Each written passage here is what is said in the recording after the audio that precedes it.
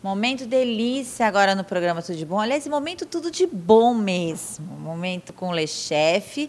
Olha, e para mostrar para vocês como o restaurante Le Chef é um restaurante por quilo, mas diferente de tudo que vocês já viram, a Clariana vai apresentar para a gente hoje o novo chefe de cozinha. Muito chique isso, Clariana. Exatamente, é o Marcos. Ele chegou faz pouco tempo no nosso restaurante para brilhantar mais ainda a nossa equipe, né? Continuam todas as pessoas ainda lá com a gente. E o Marcos veio agregar, veio somar, veio trazer mais novidades, mais coisas gostosas. E o que era bom está melhor. Não, e aí a gente vê aqui na Todeschini do Gonzaga, na Rua Lagoas, onde tem várias cozinhas, onde o showroom aqui não tem só cozinhas, né? tem quartos, salas, homes, escritórios, onde vocês podem percorrer, passear com uma das atendentes, né? uma das consultoras aqui da Todeschini, mostrar o showroom, o que é melhor para sua casa, se você vai mudar, se você está cansada de, de ficar no seu cantinho e quer dar uma repaginada. Uma, uma cozinha bem planejada é tudo, você não precisa nem de um grande espaço fácil, né, Marcos? Mas ela tem que estar tá funcional, né? É, ela tem que ser totalmente funcional e com bons equipamentos. Aqui Essa aqui está aprovada? Tá, sim. Esse forno maravilhoso. Você tem, não precisa ter muito espaço, mas tendo organização e matéria-prima e produtos bons, equipamento, dá para fazer grandes pratos, né? Agora um chefe num restaurante por quilo, isso é inusitado também. Como que você faz? Porque são quantos pratos por dia, Clara? Nossa, a gente trabalha numa base de 16 a 20 frios e pelo menos uns 15 a 20 frios quentes, quentes também. Né? Então, todos os dias tem muita coisa, né? Uma variedade incrível. É uma harmonia muito grande na equipe, né? A gente trabalha lá como uma família. Eu sempre falo para elas que a gente passa mais tempo no nosso trabalho do que em casa. Então, a gente tem que tornar o ambiente de trabalho o melhor possível, né? Não adianta só uma liderança boa e os funcionários também não serem bacanas, né? Então, a gente tenta motivar ao máximo as nossas funcionárias a terem essa liberdade de criar, de se desenvolver profissionalmente lá dentro. Então, tem muitas pessoas que entram com uma função é, seis meses depois já passaram duas a três adiantes, já estão assumindo cozinhas. É, enfim, é muito bacana esse, esse, contato que a gente tem com as nossas é. funcionárias. E a gente sente isso, sente o crescimento, sente a sua, é, na verdade, a sua concretização, né, como empresária, e só crescendo. Agora, hoje, vamos falar de coisa boa, né, agora, né? para dar água na boca de vocês. Estou vendo aqui, tem vários ingredientes. Eu já estou feliz que eu vi ingredientes salgados e vi ingredientes doces. hoje, que prato que você vai fazer para o pessoal em casa também aprender um pouquinho? Vão até o lanche-chefe né, para degustar, mas dá para fazer em casa também.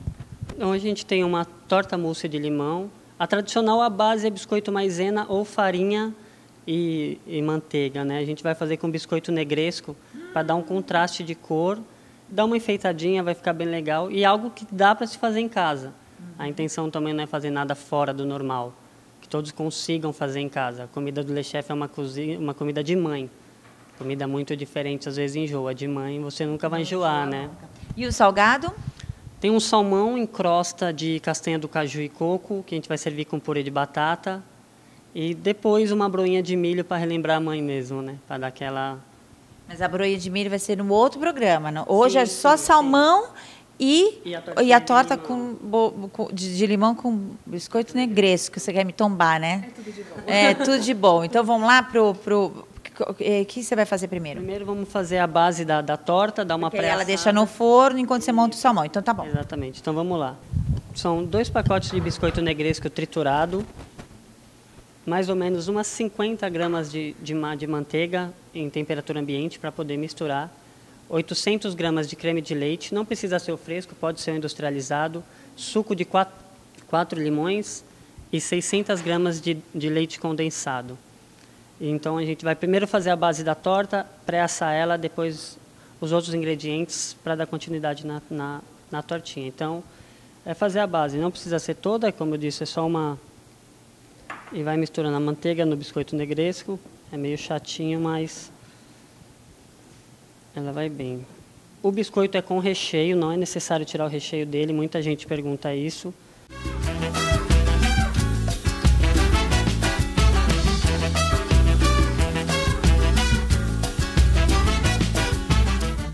O Marco já amassarocou tudo com a manteiga e a bolacha negresco. E aí pode ser com recheio, porque ela fica mais molhadinha, né?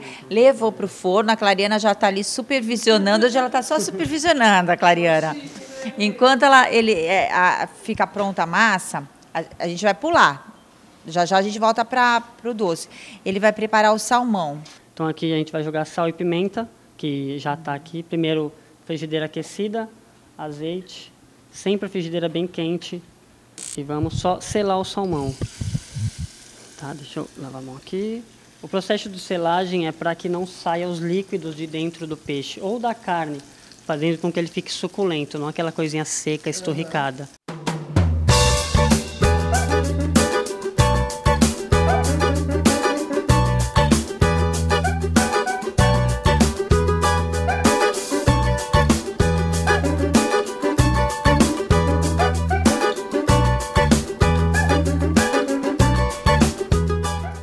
Já, já, já deu uma seladinha, levou para o forno um pouquinho, minutos. 10 minutos no forno. Isso, 10 minutos agora a gente vai fazer a crosta. Agora é a parte chata, né? A parte mais ruim das coisas. Vamos lá. Então tá. Essa crosta pode ser de várias coisas e combina tanto com peixe quanto com carne. Aí vai de cada um. Então a gente vai pegar farinha de rosca, mais ou menos umas 80 gramas, uma média.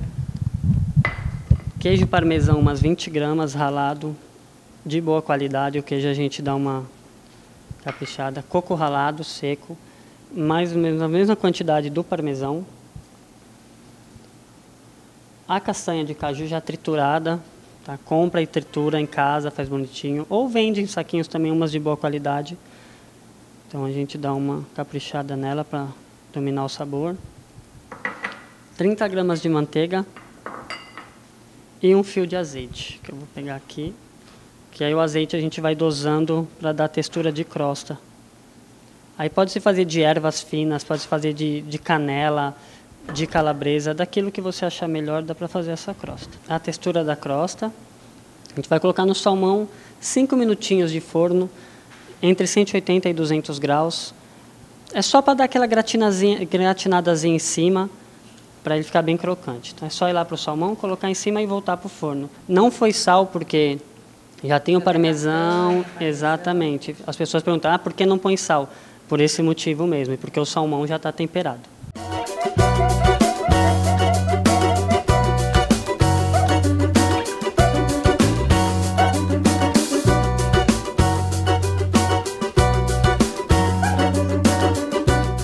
Bom, agora trocou. Agora o salmão foi com aquela crosta feia lá para o forno. Vai ficar quanto tempo? Cinco minutinhos. Cinco minutos. Então a gente tem muito pouco tempo para falar.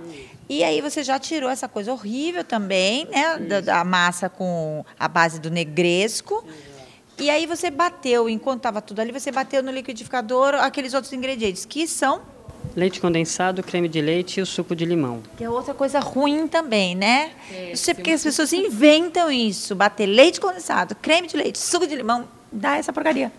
Então, a gente só vai jogar dentro da forma e uma, uns 40 minutos de geladeira já está pronto. Vamos lá, você vai jogar esse creme ruim em tá cima da massa ruim. ruim. Olha lá, vocês estão vendo, né? E dá-lhe chazinho hoje, hein? e dá-lhe chazinho. Geladeira 40 minutos, daqui a pouquinho já está pronta para a gente saborear já. Ai, Deus.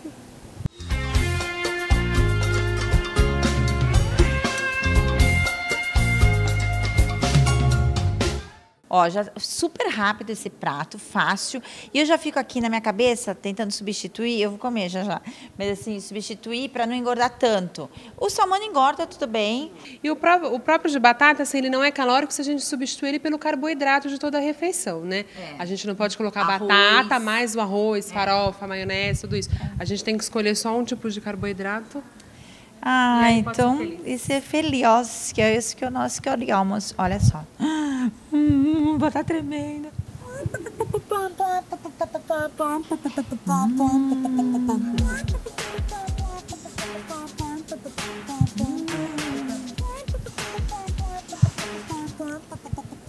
Lê, você se deu bem hoje.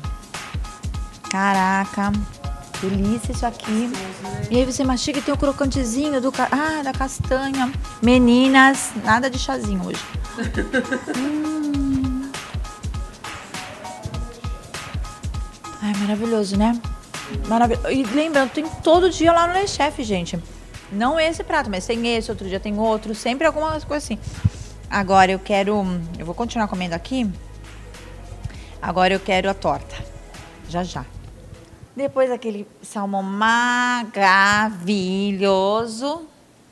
Tô louca para me jogar nessa torta. Olha como ficou a base dela de negresco. Nossa, ficou. Pode cortar isso aí. Rápido, Marcos. Ai, meu Deus do céu. Clarena, por favor, minha assistente. Um garfo. Tem garfo, Clarena. Achei.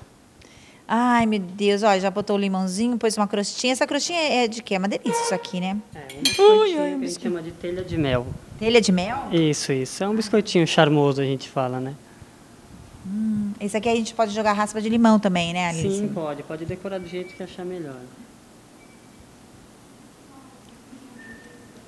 Tem coisas que não substituem palavrão. é verdade. Porque às vezes eu fico tentando substituir e não dá. Pensem o que, você quiser, o que vocês quiserem. Gente, que delícia isso. Vou pegar muito, muito, muito, muito, muito. Gente, tudo isso e muito mais lá no restaurante Le Chef, que fica Júlio Conceição 277, entre a Carvalho de Mendonça e Olinto Dantas. Então tem estacionamento em frente, conveniado. A gente também dá cartão Zona Azul, quem tiver a sorte de ter uma vaguinha na rua, a Renata sempre tem, né? Gente, delícia. Tem que ir no Le Chef. Vai pela na costa, virou na Carvalho de Mendonça, primeira à direita. Né? Tá vendo? Já, a pessoa vai de viste já. Marcos, ó. Você é demais. Eu vou ficar aqui. Gente, tem que ir lá mesmo. Eu vou me jogar aqui tá? Aqui agradecer a Todeskine, né, que a gente vem aqui faz uma bagunça e convidar vocês também a conhecerem aqui a Todeskine na Rua Lagoas, aqui no Gonzaga. Se de repente vocês tiverem a sorte, a gente está aqui gravando com eles e a gente até oferece para vocês. Né? Com certeza. Se não, vem só visitar.